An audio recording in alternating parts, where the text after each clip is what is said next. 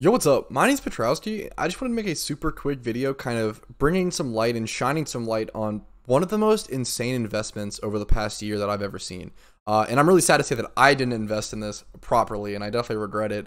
Um, Santa presents from 2021 are up to 805k minimum a piece. That is unprecedented for a sealed item or a sealed box to raise from, you know, maybe like 100K during the event, like a higher tier box, 100K during the event, up to 800K a year, one year later is just not even one year later. The Christmas event, um, you know, it's not even for four months. Eight, you know, eight months later is just, it's unprecedented. It's insane. We've never seen a rise this high in such a high quantity sealed product. So I always recommend people invest in sealed product. And what I mean by sealed product is things like the the loot boxes that come out during holiday events, the the Santa presents, the Xmas presents, the goodie bags, um, et cetera, et cetera. You can actually see the 2020 Santa presents, the one that are a year older, are actually cheaper. They're still 415k, which is a super solid price, and they've made a lot of money on investing in those. I actually have a couple of these.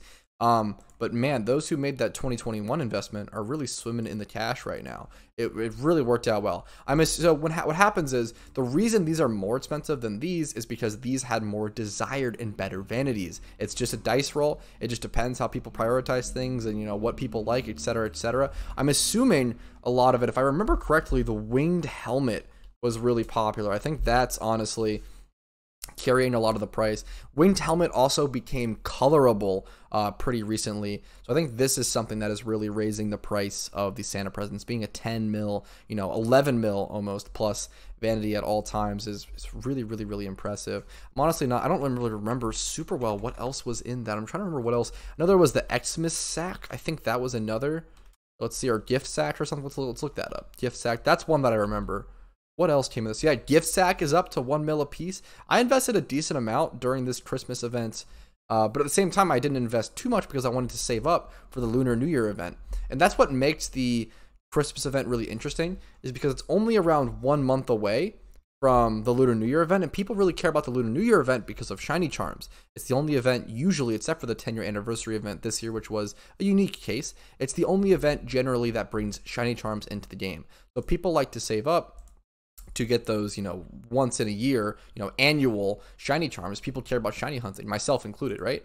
Um, so it's it's just really crazy. So sometimes people underinvest in the in the Christmas event because of this, and this is a huge case of underinvesting alongside um, really high desire for a lot of these vanities, and it's just really crazy to see this. Like imagine, so a good way to show how big of a deal this is and how much people might have made. Let's say someone had, so let's say they were 100k a piece during during the event. Let's say someone bought a hundred of them. That's 10 mil. Let's say someone spent 10 mil on Santa presents during the Christmas event last year. How much money would they have if they sold them now for 800k a piece? Let's do 800k times that 100. Obviously, pretty simple math. Um, but is that? I think I think I messed something up. Um, no, yeah, that's right. Right? Yeah, no, that's that's obvious. So yeah, if someone's yeah, well, I'm terrible at math. If someone spent 10 mil on Santa presents back during the Christmas event less than a year ago, eight months ago.